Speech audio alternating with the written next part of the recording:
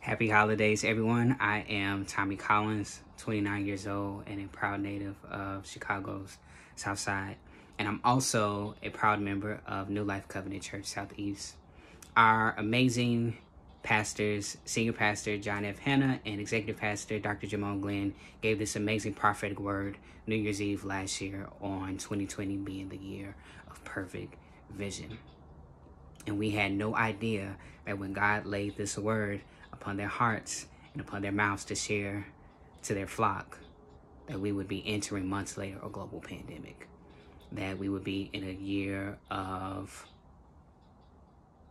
isolation, being separated from our families, figuring out new ways to work, new ways to learn, new ways to just navigate our everyday lives. Like our normal was disrupted.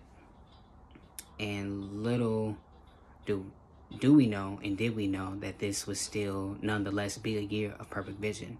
God was revealing to us that the systems we exist in, the way that we navigate our family structures, the way that we navigate work, the way we navigate school, the way we navigate romantic and platonic relationships, that we had to do things a different way.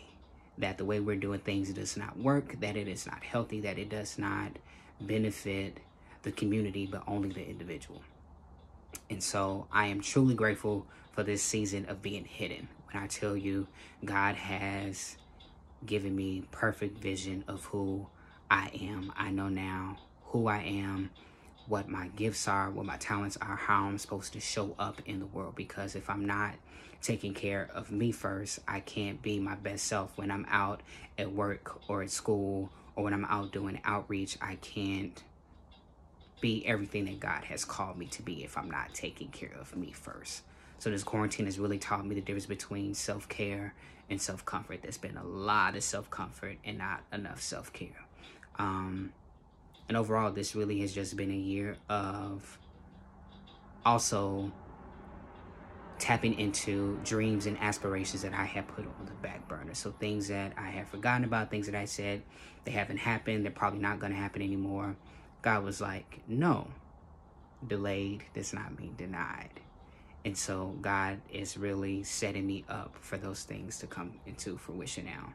So I'm truly grateful for what 2020 brought. I am now a semester away from graduating with dual masters from Illinois Institute of Technology in design and an MBA. I have already secured full-time employment after I graduate and I turn 30 um 29 days from now, which is amazing. So I'm really looking forward to um, this new decade, my 30s, um, and just living in what God has promised me. So I encourage all of you to not look at the glass half empty, which means like 2020 was tumultuous, it was a lot, it was overwhelming, it was all of these things that made us uncomfortable and unsettled but that was for a reason. But if we look at the glass half full, we realize that God was simply preparing us for what He has prepared for us and reassuring us that, yes, things are a little rough, that we have kind of put ourselves in these difficult situations, but there's still time to make things right.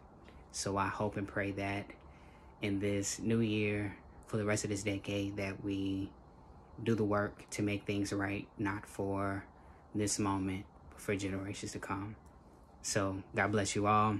Happy holidays, Merry Christmas, Happy New Year, and see you all in 2021. God bless.